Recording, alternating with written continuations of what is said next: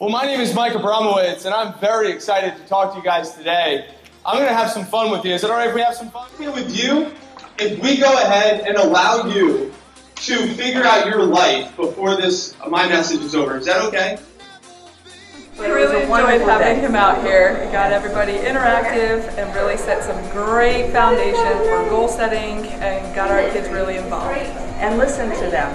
And I would encourage any teacher or professor to bring Mr. Abramowitz to school talking about goal setting, positive attitudes, really a great influence, really some good messages to hear for any student, any profession, um, any subject matter. This is applicable and will be a great, great impact on.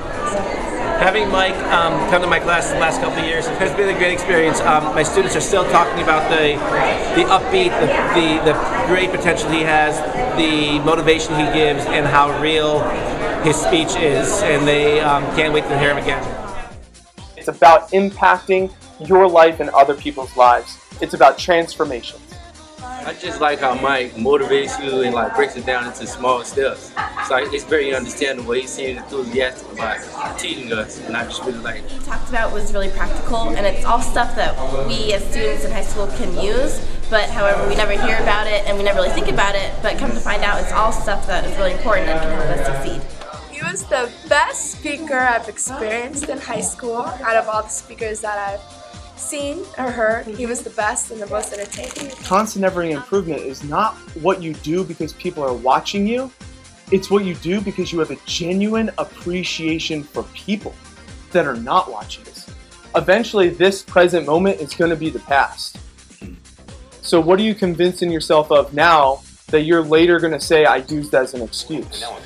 A group of volunteers spent their Sunday giving out peanut butter and jelly sandwiches in Largo. In all, they've given out more than 6,800 sandwiches. The effort, called PB&J for Tampa Bay Feeding Frenzy. I think when people get together and give, they feel like they're making a difference, feel like they're making an impact, and then everyone deserves a meal. It's something simple, it's easy, and it gets everyone together, which is awesome. Michael Abramowitz and the rest of these volunteers call themselves PB&J for Tampa Bay. Last February, they started meeting and made 350 sandwiches. We're like, let's do it again. So we did 500. And now? We made a lot of sandwiches, let's put it this way. 17,450 sandwiches before today. Thank you, God bless you. About right. So that's about right there. What's your name? Truly. You guys hungry? Has spread. That makes me happy. Makes me proud. I got food. I know I can eat. I got enough. See? I got enough. It's not just a sandwich. It's not just a meal. It's more than just that. On the road in Pinellas Park. Mission 1000.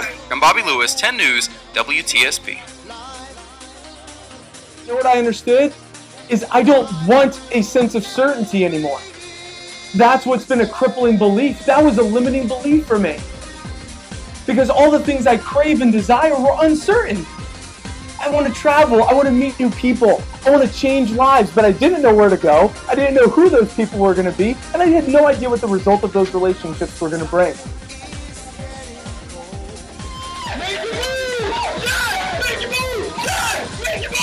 Yes! Yes! Yes!